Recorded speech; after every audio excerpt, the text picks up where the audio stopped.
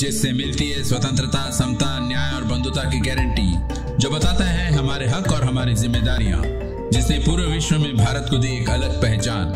बाबा साहेब आम्बेडकर द्वारा निर्मित भारत का संविधान। जानेंगे संविधान विशेषज्ञों से सरल और सीधे शब्दों में। संविधान की पाठशाला में सिर्फ़ यूसेन संविधान की पाठशाला इस कार्यक्रम में आप सभी का स्वागत है। मैं एडवोकेट प्रियदर्शी तेलंग, आपके साथ संविधान के कुछ महत्वपूर्ण हिस्सों पर बात करने का प्रयास कर रहा हूँ। मैं यूसीएन केबल को धन्यवाद देता हूँ कि आपने मुझे आपके साथ रूबरू होने का मौका दिया। हम भारत के लोग हम भारत के 130 करोड़ लोग आज आर्थिक विषमता से हम बहुत ज़्यादा पीड़ित हैं। अगर हम ऑक्सफैम की रिपोर्ट देखें ऑक्सफैम की रिपोर्ट जो हर साल प्रकाशित होती है, उस रिपोर्ट का नाम है इनक्वेलिटी किल्स इस रिपोर्ट के मुताबिक, देश में हर रोज़ इक्कीस हज़ार तीन सौ लोग आर्थिक विषमता के कारण मरते हैं। रिपोर्ट के मुताबिक, देश की आधी से ज़्यादा आबादी, जो गरीब आबादी है, उनके पास जो दौलत है, उस, वो दौलत के कई गुना ज़्यादा दौलत देश के अट्ठानवे लोगों के पास है। अगर इन अट्ठानवे लोगों पे एक प्रतिशत वेल्थ टैक्स लगाया जाए तो हमारे देश का जो स्कूली विभाग है, स्कूली शिक्षा विभाग है, उस शिक्षा का सारा खर्चा किया जा सकता है। अगर इन अट्ठानवे लोगों पे चार प्रतिशत टैक्स लगा दिया जाए बहुत नहीं, अट्ठानवे लोगों पे चार प्रतिशत टैक्स लगा दिया जाए तो आपको जो पता है कि हमारे देश में मध्यान्ह भोजन ये कार्यक्रम चलता है, ये मध्यान्ह भोजन के लिए सत्रह साल तक प्रावधान किया जा सकता है।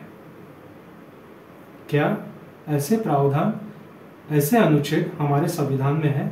हाँ बिल्कुल है। हम अगर संविधान की बात करें तो संविधान में अनुच्छेद 38 है, जो प्रायोगिक रूप से इस पर बात करता जो सामाजिक एवं राजनीतिक नहीं, बल्कि आर्थिक न्याय की भी बात करता है।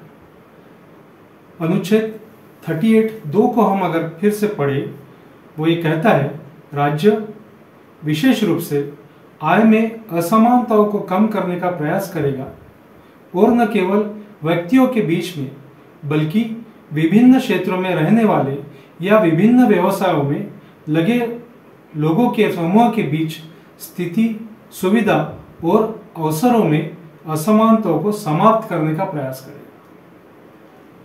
अगर हम इस अनुच्छेद को देखते हैं तो क्या प्रावधान भारत सरकार अभी तक के संविधान के अमल में कर पाई है?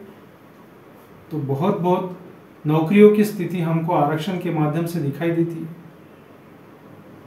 पर वो भी आज कम होते हुए नज़र आते जो सार्वजनिक प्रकल्प है हमारे देश के, वो सार्वजनिक प्रकल्प प्राइवेट होते जन नज़र आ रहे चाहे वो कांग्रेस सरकार रहे, चाहे वो भाजपा सरकार रहे, या अन्य कोई सरकार रहे, ये दोनों सरकारों ने private private and private enterprise ही चलाए हैं।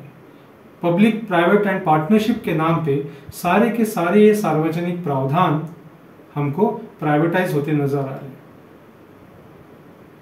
सांसदीय लोकशाही में ये स्वाभाविक है कि आर्थिक समानता के लिए पोषण वातावरण निर्माण किया जाए। और इसकी ये ये ये जानकारी उस वक्त की संविधान सभाओं को भी थी।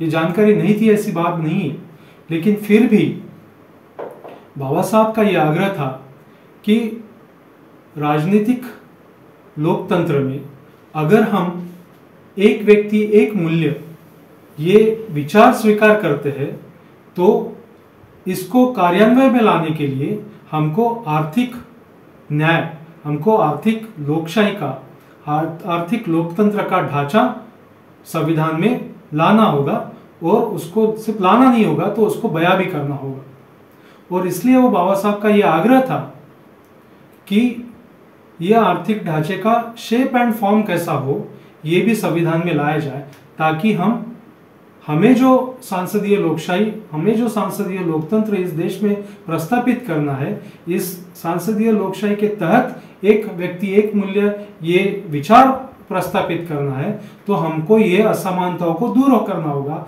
और ये असमानता दूर करने के लिए हमको ये आर्थिक ढांचे को, हमको डिफाइन करना होगा। पर हम पूरे इस संविधान के अमल में अगर देखेंगे, ये प्रावधान होने के बावजूद भी 38 आप अनुच्छेद 38 ले लो या 39 ले लो, ये सारे प्रावधान होने के बावजूद भी जो प्रयास सरकार के माध्यम से किए गए हैं, वो प्रयास कम है।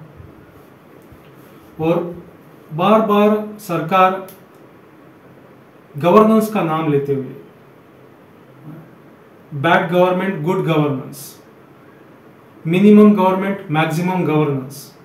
ये स्लोगन बार बार सरकार लेती आई है, पर ये स्लोगन के तहत ना सरकार ने कभी गवर्नेंस ठीक किया, ना ये असमानताएँ दूर करने के लिए प्रयास किया। जो भी कार्यक्रम इस प्रावधान की इस धाराओं के अंतर्गत चल रहे, चाहे फिर हम मनरेगा का कार्यक्रम देख ले, वो जो गैप है, जो आर्थिक दरी है अनुसूचित जाति जनजाति या अन्य पिछड़े वर्गों के बीच में और एक समूह एक तबका जो है उसका गैप वो जो आर्थिक दरी है वो कभी अभी तक फिलअप नहीं हुई। और देश में जो भी संकट आए हैं चाहे फिर वो पैंडमिक ले लिए कोविड ले लीजिए इससे इस आर्थिक दूरी को आ, आ, देश में और पनपा है बढ़ोतरी हुई है। और इसलिए हम देखते हैं कि बीपीएल में वो बीपीएल जो के निकष जो लगाए जाते हैं, उसमें भी कभी एक राह नहीं हुई है, लेकिन जो भी निकष लगाए गए, उसमें देश की आधी से ज़्यादा तबा हमारी जो आबादी है, वो बिलो पॉवर्टी लाइन में है। तो बाबा साहब का ये जो कहना था कि ये आर्थिक ढांचे का शेप एंड फॉर्म हमने डिफाइन करना चाहिए, ये बाबा साहब का इनिशिएटिव था। मतलब हम पार्लियामेंट्री जो सिस्टम बहुत बहुत तौर पर ब्रिटिश पार्लियामेंट्री सिस्टम को इनहेरिट करते हैं, पर ये जो प्रावधान है, जो बाबा साहब का आग्रह था और बात कर रहे थे, वो ब्रिटिश पार्लियामेंट्री सिस्टम में नहीं है। ये बाबा साहब का इनिशिएटिव था। और अगर आप इसको, ये ये ये जो बात बाबा साहब आग्रह कर रहे हैं, इसको बाबा साहब ने कॉन्स्टेंट असेंबली के सामने प्रस्तुत भी किया था, जिस, जिसे वो बाद में प्रकाशित भी किया गया स्टेट्स एंड माइनॉरिटीज के नाम से। तो जवाहरलाल नेहरू जब कॉन्स्टेंट असेंबली के सामने संविधान के ऑब्जेक्टिव्स को बयां कर रहे थे तो बाबा साहब ने उस पर उस उस पर आक्षेप जताया और कहा कि आप सोशलिज्म की जो बात कर रहे हो, आप सोशलिज्म जो लाना चाहते हो, आप कोई प्रोग्राम या कोई ठोस कार्यक्रम उसमें बात नहीं कर रहे हो और इसलिए बाबा साहब उस कॉन्स्टेंट असेंबली में बात करते वक्त ऑब्जेक्टिव्स पे बात करते वक्त राष्ट्रीयकरण की बात की। इंडस्ट्री के राष्ट्रीयकरण की और ज़मीन के भी राष्ट्रीयकरण की। तो और स्टेट्स एंड माइनॉरिटीज़ में उसने, बाबा साहब ने वो उसको बया किया हुआ पर हम अगर आज ये देश में, संविधान में जो प्रावधान 38 और 39 है, इसके चलते जो प्रोग्राम्स बनाने चाहिए, वो कम कम होते नज़र आ रहे हैं। तो जब गवर्नेंस की हम बात करते हैं तो ये जिस जिस तरीके से मूलभूत अधिकार को लेके तुम्हारे अगर मूलभूत अधिकारों का हनन होता है तो आप सर्वोच्च न्यायालय में जा सकते हो आर्टिकल 32 का इस्तेमाल करते हुए। पर 38 और 39 ये हमारे नीति निर्देशक तत्वों में है। इसको लेके आप आप सर्वोच्च न्यायालय में नहीं जा सकते या उच्च न्यायालय में नहीं जा सकते। पर आपके सामने ये सरकार हर पाँच साल में आती है, इसको आप जवाबदेही बना सकते हो। पर आप वो नहीं कर रहे हो। तो ये बहुत ज़रूरी है कि ये जो इकोनॉमिक डेमोक्रेसी की बात बाबा साहब ने बड़े हद तक डायरेक्टिव प्रिंसिपल्स में कही है, उसको हमको समझने की ज़रूरत है, उसको लोगों के बीच में लेके जाने की ज़रूरत है, ताकि सरकार जब हमारे सामने हर पाँच साल में हमारे साथ वोट मांगने के लिए आए तो हमको ये पूछना चाहिए कि आपने क्या कार्यक्रम ये आर्थिक असमानताओं को दूर करने के लिए लगाए। अच्छा अगर हम अगर देखें तो अभी आर्थिक असमानताएँ ये यूनाइटेड नेशंस का भी ध्येय है, जिसे सतत विकसशील विकसनशील ध्येय कहा जाता है। ऐसे सत्रह गोल यूनाइटेड नेशंस ने बनाए ये सत्रह गोल के पहले मिलीनियम डेवलपमेंट गोल कहा जाता था, जिसमें आठ गोल थे। आज की तारीख में सत्रह गोल है। और इस सत्रह गोल में दसवां जो गोल है, दसवां जो ध्येय है, वो उसे एस डी जी टेन कहा जाता है, जिसका नाम है रिड्यूसिंग इनक्वालिटीज आर्थिक विषमता का बड़ा नुकसान हमारे देश में तो हो ही हो ही रहा है, पर इसके कई उदाहरण इंटरनेशनल लेवल पे भी है। तो इसलिए ये बहुत ज़रूरी है कि हम ऐसे मुद्दों को समझें। जब हम एस डी जी टेन की बात करती है तो भारत सरकार क्या कहती है? हाँ हाँ हम बिल्कुल ये आर्थिक असमता असमानताएँ दूर करने के लिए हमने नीति धोरण का अवलंबन किया है। और इसके चलते हम अनुसूचित जाति और जनजातियों को उनकी उनके लिए बजट की प्रावधान करते हैं। पर क्या गाइडलाइंस है और क्या प्रावधान किया जाता है? 1980 में ये धोरण की शुरुआत हुई, ये नीति की शुरुआत हुई। कि जो अनुसूचित जातियाँ और जनजातियाँ हैं, उनके लोक संख्या के अनुपात में बजटरी प्रावधान किया चाहिए बजट में आवंटन किया जाना चाहिए। पर आज तक का आप पूरा इतिहास देख लीजिए, एक भी सरकार ने लोक संख्या के प्रमाण में आवंटन नहीं किया और एक तरफ़ भारत सरकार कह रही है कि हम एस डी के तहत ये आर्थिक असमताएँ दूर कर रही है, असमानताएँ दूर कर रही है। तो जितना प्रावधान होता है, उससे कई गुना ज़्यादा एक तो खर्चा नहीं होता। और जो खर्चा होता है, जिन कार्यक्रमों के लिए आवंटन किया जाता है, उसकी ज़्यादा से ज़्यादा उपयोगिता समाज के लोगों के लिए नहीं होती। तो मिनिस्ट्री ऑफ़ टेलीकम्युनिकेशन में 2000 करोड़ रुपए दे दिया। किस चीज़ के लिए दे दिया? तो एक नेटवर्क का इस्तेमाल तैयार करना है। एक नेटवर्क तैयार करना है, जो किस, कौन तैयार कर रहा है? जो मोबाइल कंपनियाँ हैं, उनके लिए नेटवर्क तैयार करना है तो उससे समाज का क्या फ़ायदा होने वाला है? तो एक तो जो आवंटन होना चाहिए, वो लोक संख्या के प्रमाण में नहीं होता। दूसरा, जो होता है, उसका फ़ायदा समाज के लोग, लोगों के लिए नहीं होता। और जो समाज के लोगों के लिए उपयोगी योजनाएँ उदाहरण के लिए, हम पोस्ट मैट्रिक स्कॉलरशिप अभी अगर देख ले तो ये पोस्ट मैट्रिक स्कॉलरशिप की आप जानते हो कि कितने, आप में से कई लोग ऐसे होंगे जो ये वीडियो देख रहे होंगे, जिनको स्कॉलरशिप नहीं मिली है। दो दो, तीन तीन सालों से स्कॉलरशिप नहीं मिली है।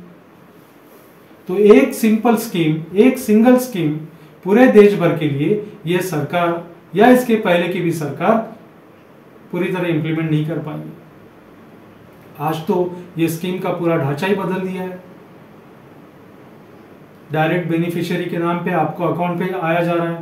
पैसा पहले स्टेट में भेजा करते थे, जिसके चलते स्टेट पूरी रकम वो आपके अकाउंट में डालती थी, अगर बेनिफिशियरी स्कीम भी हो तो।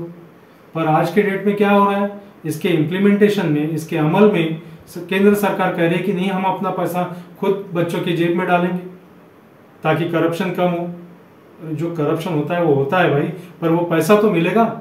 तो आज इस, ये दायरा बदलने से ना बच्चों को दो दो तीन तीन सालों से पैसा नहीं मिल रहा है। तो ये ये जो प्रावधान इस धोरणा इस इस गाइडलाइंस के तहत होना चाहिए, जिसे अनुसूचित जाति प्रोग्राम या अनुसूचित जनजाति प्रोग्राम कहा जाता है, वो लोक संख्या के प्रमाण में नहीं होता। और इसलिए ज़रूरी है कि इस पे आंदोलन छेड़े जाने चाहिए।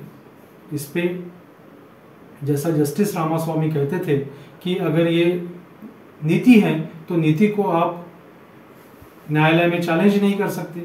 इसका अगर कानून बनता है तो इसको न्यायालय में चैलेंज किया जा सकता है। तो कई राज्यों में, तेलंगाना, आंध्र प्रदेश, अभी तो राजस्थान ने भी कानून बना लिया, उत्तराखंड में कानून है। तो ये सरकार से गुजारिश है कि अगर आप चाहते हो, आप सही में चाहते हो कि सबका साथ, सबका विकास और या सबका विश्वास आप जो बार बार उसमें बया कर रहे हो और ये सबका विश्वास वाकई में आप को है तो आप अनुसूचित जाति और जनजातियों के लिए जो बजटरी प्रावधान है और जो बजटरी प्रावधान लोक संख्या के अनुपात में होना चाहिए, उसके लिए कानून कीजिए। पर सरकार ऐसा नहीं कर रही। और हम भी उनको आने वाले पाँच सालों में पूछते नहीं है कि हमने आपने हमारे विकास के लिए क्या कार्यक्रम लगाया। तो ये संविधान के धारा 38 और 39 में जो प्रावधान है, इस पर चर्चा आप कीजिएगा। मैं इसको इसको जैसा मैंने कहा कि आर्थिक असमानताओं को दूर करना इसका मुख्य अगर लक्ष्य है तो आर्थिक असमानता दूर करने के लिए क्या कार्यक्रम गठित किए गए? ये आपको पूछना है और आप पूछ सकते हो। आप एक खत लिख सकते हो आपके एमपी को। आप एक खत लिख सकते हो आपके एमएलए को, आप ट्वीट कर सकते हो आपके मेंबर ऑफ़ पार्लियामेंट को, आप ट्वीट कर सकते हो सामाजिक न्याय के मंत्रालय को कि आपने अनुच्छेद 38 और 39 को लेके क्या कार्यक्रम लगाया उस कार्यक्रम की क्या स्थिति है। ये आप आप जितना ज़्यादा इन सारे जो सोशल मीडिया में प्रावधान हमारे पास आज के पास, आज के दिन में है उसका इस्तेमाल करके इस आर्टिकल और आर्टिकल 39 की 38 और 39 की आप चर्चाएँ ज़रूर समझ में कीजिएगा। मैं आपको आज एक इस इस नीति निर्देशक तत्व के अलावा जिसकी चर्चा नहीं होती जिसे संविधान में शेड्यूल कहा जाता है, अनुसूचियाँ कहा जाता है, उस अनुसूची के बारे में भी ज़िक्र करना चाहूँगा कि हम आंदोलन में तो बहुत स्वाभाविक रूप से दलित आदिवासी ये टर्म का इस्तेमाल करते हैं। लेकिन आदिवासियों के लिए जो महत्वपूर्ण अनुसूची रही है, वो अनुसूची है पाँच और छ पर दुर्भाग्य की बात यह है कि हम मूलभूत अधिकारों की बात बहुत बड़े तौर पर करते कि हमको ये मूलभूत अधिकार होने चाहिए। हम कुछ हद तक राज्य के नीति निर्देशक तत्व की भी बात करते हैं। पर बहुत कम बातें हम अनुसूचियों के बारे में करते हैं। तो अगर ये पाँच और छः अनुसूची को अगर हम देखें तो ये बहुत इम्पोर्टेंट है। खास तौर पर शेड्यूल ट्राइब के लिए, जो ये अनुसूची के आधार पर मुख्य भूमि के साथ जो शेड्यूल्ड एरिया है अनुसूचित एरिया है उस अनुसूचित एरिया में इसका एडमिनिस्ट्रेशन कैसे हो ये नियोजन ये अनुसूची पाँच करती है। और अनुसूची छः खास तौर पर हमारे जो नॉर्थ ईस्टर्न स्टेट्स हैं उसके बारे में बात करते हैं। पर मैं अनुसूची पाँच के बारे में आ, आ, कहना चाहूँगा। भारत संविधान की पाँचवीं ये जो अनुसूची है उसमें एक जो बात है, उसको गवर्नर अध्यक्षता करते हैं, मुख्यमंत्री अध्यक्षा रहते हैं, लेकिन गवर्नर उसमें इम्पोर्टेंट रोल प्ले करते हैं और उसको जनजाति सलाहकार परिषद ट्राइबल एडवाइजरी काउंसिल कहा जाता है। और ये गवर्नर इसमें इम्पोर्टेंट रोल प्ले करते हैं तो इसलिए हर स्टेट में गवर्नर है, हर राज्य में गवर्नर है। और अगर हम महाराष्ट्र की बात करें तो 2016 में कभी तो भी एक बार ट्राइबल एडवाइजरी की काउंसिल की बैठक हुई थी। उसके बाद ट्राइबल एडवाइजरी काउंसिल की बैठक हुई नहीं हम अगर महाराष्ट्र की आबादी अगर देखें तो करीब करीब 12 प्रतिशत आबादी हमको शेड्यूल कास्ट की नज़र आती है, अनुसूचित जातियों की नज़र आती है 2011 के सेंसस के मुताबिक। और करीब करीब 10 प्रतिशत अनुसूचित जनजाति की है। और अगर क्वांटम में लिए जाए उसको क्वांटिटी में लिया जाए तो करीब एक करोड़ पाँच लाख अनुसूचित जनजाति के लोग हमारे इस राज्य में है। इतनी बड़े पैमाने पे आबादी अनुसूचित जनजाति के होने के बावजूद भी अगर हम देखें तो हमारे स्टेट में अलग से कोई शेड्यूल ट्राइब का कमीशन नहीं। पिछले गत कई सालों में पिछले चार पाँच सालों में अनुसूचित जनजातियों पे जातीय अत्याचार बड़े पैमाने पे बढ़े हैं। चाहे फिर वो इंस्टीट्यूशनल अत्याचार क्यों ना रहे। आप शायद पायल तड़वी की केस जानते भी होंगे कि जो आ, आ, पायल तड़वी बॉम्बे मुंबई में मेडिकल कॉलेज में पोस्ट ग्रेजुएट की छात्रा थी उसको जातिगत आधार पर टोकते हुए बोलते हुए उसने उसका खून किया गया इंस्टीट्यूशनल मर्डर किया गया। मैं ये नहीं कहूँगा कि उसने सुसाइड किया। तो इतने बड़े पैमाने पे भारत, हमारे महाराष्ट्र के राज्य में लोक संख्या होने के बावजूद भी शेड्यूल ट्राइब का अलग से कमीशन नहीं है। और ये सारी अनुसूची इन सब चीज़ों पे बात करती है। जैसा मैंने कहा कि ट्राइबल एडवाइजरी काउंसिल की 2016 में कभी बैठक हुई जब राव हमारे गवर्नर थे, अभी ये जो हमेशा काली टोपी पहनकर जो गवर्नर सामने आते हैं और उटपटांग कुछ बात करते हैं, उन्होंने कभी ट्राइबल एडवाइजरी काउंसिल की बैठक नहीं ली और 2016 में ये निर्णय भी हुआ था ट्राइबल एडवाइजरी काउंसिल की बैठक में कि अनुसूचित जनजातियों के बजटरी प्रावधान को लेके कानून बनाना चाहिए, लेकिन ना भाजपा सरकार ने इसका कोई अमल किया? ना कांग्रेस सरकार ने या खुद को यह महाविकास आघाड़ी कहने वाली सरकार ने इसका कोई अमल किया?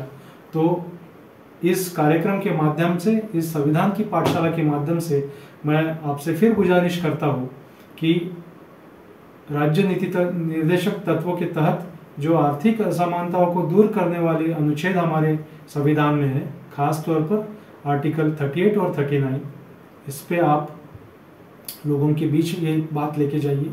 और अनुसूची पाँच में जो ट्राइबल एडवाइजरी काउंसिल है, जिसे जनजाति सलाहकार परिषद भी कहा जाता है तो आप ये काली टोपी वाले गवर्नर से ज़रूर लिखिएगा कि आने वाले समय में ट्राइबल एडवाइजरी काउंसिल की बैठक बुलाई जाए और 2016 में जो निर्णय हुआ था 16 अप्रैल 2016 में, उसको कार्यान्वयन में लाया जाए।